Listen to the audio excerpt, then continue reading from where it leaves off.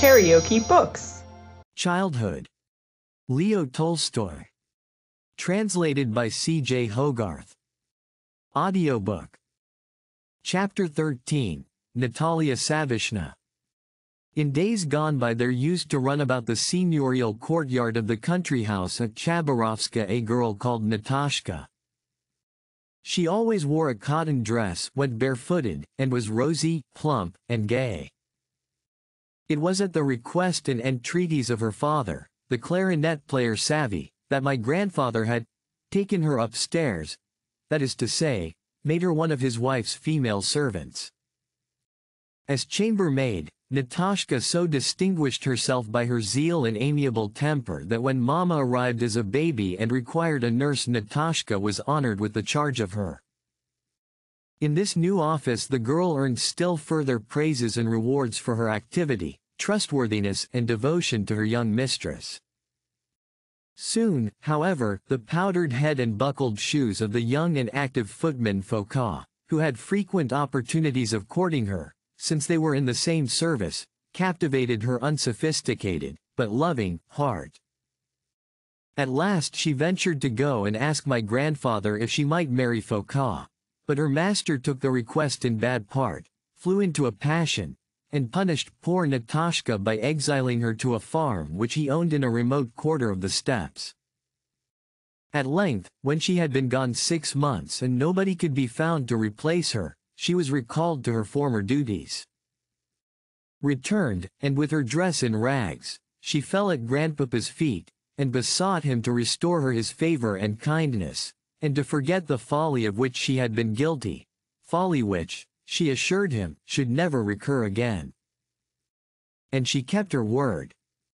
From that time forth she called herself, not Natashka, but Natalia Savishna, and took to wearing a cap. All the love in her heart was now bestowed upon her young charge. When Mama had a governess appointed for her education, Natalia was awarded the keys as housekeeper, and henceforth had the linen and provisions under her care. These new duties she fulfilled with equal fidelity and zeal. She lived only for her master's advantage. Everything in which she could detect fraud, extravagance, or waste she endeavored to remedy to the best of her power. When Mama married and wished in some way to reward Natalia Savishna for her 20 years of care and labor, she sent for her and, voicing in the tenderest terms her attachment and love, presented her with a stamped charter of her, Natalia's, freedom. It will be remembered that this was in the days of serfdom, telling her at the same time that, whether she continued to serve in the household or not, she should always receive an annual pension of 300 rubles. Natalia listened in silence to this. Then, taking the document in her hands and regarding it with a frown, she muttered something between her teeth, and darted from the room, slamming the door behind her. Not understanding the reason for such strange conduct, Mama followed her presently to her room, and found her sitting with streaming eyes on her trunk, crushing her pocket handkerchief between her fingers, and looking mournfully at the remains of the document, which was lying torn to pieces on the floor. What is the matter, dear Natalia Savishna? said Mama, taking her hand.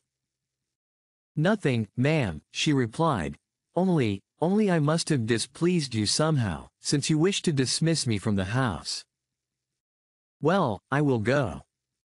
She withdrew her hand and, with difficulty restraining her tears, rose to leave the room, but Mama stopped her, and they wept a while in one another's arms.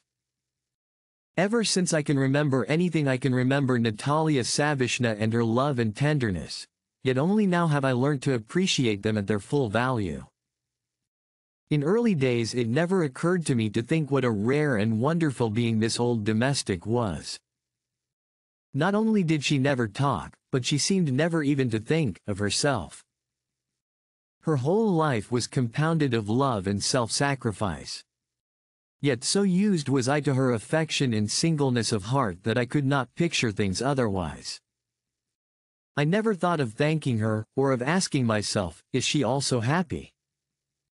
Is she also contented? Often on some pretext or another I would leave my lessons and run to her room, where, sitting down, I would begin to muse aloud as though she were not there.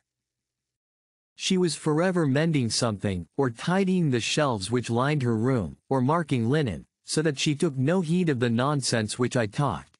How that I meant to become a general, to marry a beautiful woman, to buy a chestnut horse, to build myself a house of glass, to invite Karl Ivanich's relatives to come and visit me from Saxony, and so forth. To all of which she would only reply, Yes, my love, yes. Then, on my rising, and preparing to go, she would open a blue trunk which had pasted on the inside of its lid a colored picture of a hussar which had once adorned a pomade bottle and a sketch made by Woloda, and take from it a fumigation pastille, which she would light and shake for my benefit, saying, these, dear, are the pastilles which your grandfather, now in heaven, brought back from Ochakov after fighting against the Turks. Then she would add with a sigh, but this is nearly the last one. The trunks which filled her room seemed to contain almost everything in the world. Whenever anything was wanted, people said, Oh, go and ask Natalia Savishna for it, and, sure enough, it was seldom that she did not produce the object required and say, See what comes of taking care of everything. Her trunks contained thousands of things which nobody in the house but herself would have thought of preserving. Once I lost my temper with her. This was how it happened. One day after luncheon I poured myself out a glass of kvass, and then dropped the decanter, and so stained the tablecloth.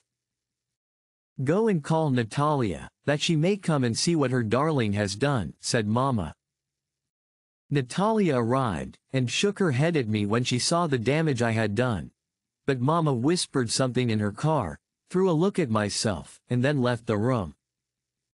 I was just skipping away, in the sprightliest mood possible, when Natalia darted out upon me from behind the door with the tablecloth in her hand, and, catching hold of me, rubbed my face hard with the stained part of it, repeating, Don't thou go and spoil tablecloths any more. I struggled hard, and roared with temper. What? I said to myself as I fled to the drawing room in a mist of tears. To think that Natalia Savishna just plain Natalia should say, thou, to me and rub my face with a wet tablecloth as though I were a mere servant boy. It is abominable. Seeing my fury, Natalia departed, while I continued to strut about and plan how to punish the bold woman for her offense.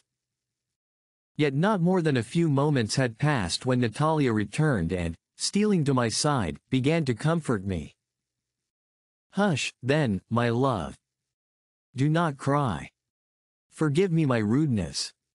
It was wrong of me. You will pardon me, my darling, will you not?